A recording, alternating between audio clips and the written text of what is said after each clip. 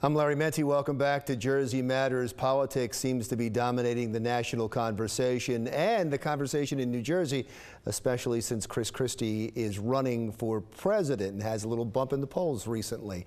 Uh, following all of that is this gentleman, Ben Dworkin, who is the director of the Rebovich Institute for New Jersey Politics at Rider University. Excuse me, I should say doctor. You just got your PhD. I did, so thank you. Congratulations it's good to be back here. Yeah, you told me it was important to say that just because your mom is might be watching and she and she's so proud of you. Uh, I want to talk about the politics in a moment, sure. but I, I, actually want to start by talking about the institute. Uh, what is it, and what's its mission? The Institute was started in 2001 by my predecessor, the late Dr. David Rebovich, who was a professor for many years at Rider University, and was effectively the first uh, nonpartisan person to come out and to give commentary and explain what's happening in New Jersey politics. We have two central missions. One is to raise the level of political discourse uh, in New Jersey, and the second is to train the next generation of political leadership. And we do this in a couple ways.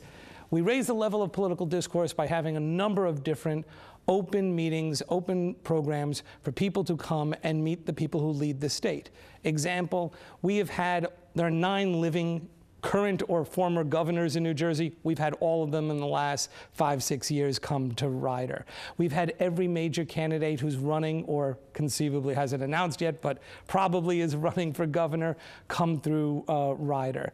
This is an opportunity for students to get up close and personal, to see them, to, for the public to meet them, to get a, an opportunity where they might not, unless they were actively involved in a political organization, they might not get a chance. So, so let me, to back up to that part of the mission, mm -hmm. um, uh, raising the, what did you call it, the dialogue? Raising the level of political discourse. The, raising the level of political discourse. In New Jersey, mm. which is no easy task, raising the level of political discourse.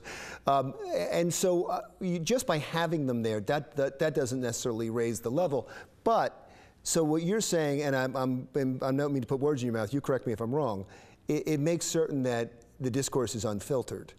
Not only is it unfiltered because people get to meet and to ask their questions directly, but our sense and my belief is that if everybody's a little bit smarter, the conversation is elevated.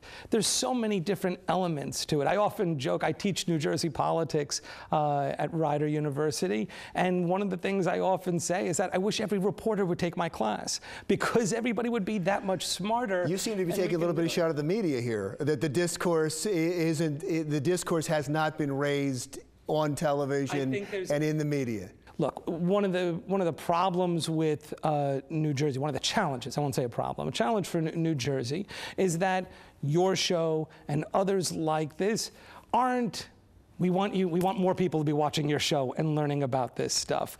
And we try to contribute to that by having these open forums by having debate hosting debates having different uh, programs and, and conferences by having everybody smarter about the issues understanding what the, why the, if these things were easy they'd be done. Is your concern that the discourse has become more about the horse race more about the fights than about the issues in part, it's that, but I think it's also when people want to have a debate. If you're sitting around your Thanksgiving table or your holiday table uh, dinner and talking about the issues in New Jersey, not everybody knows enough to contribute to that uh, conversation. But part of that is the way it's covered. Part of that are the debates. The Republicans, I remember at the second debate, no, I guess it was the third debate, when CNBC were upset because many of the questions, and they were correct if you watch the debate, were he said this about you, what do you have to say to him? It almost, it almost evolved to grade school.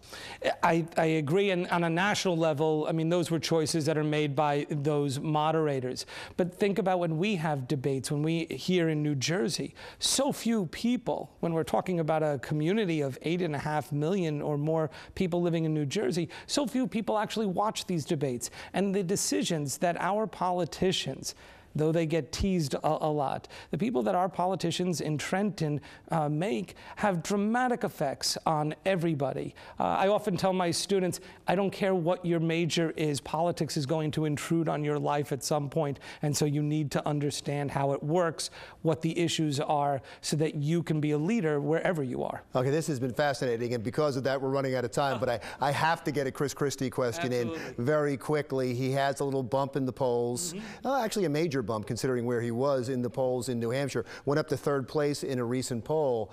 Do you see that as momentum that can continue at this point?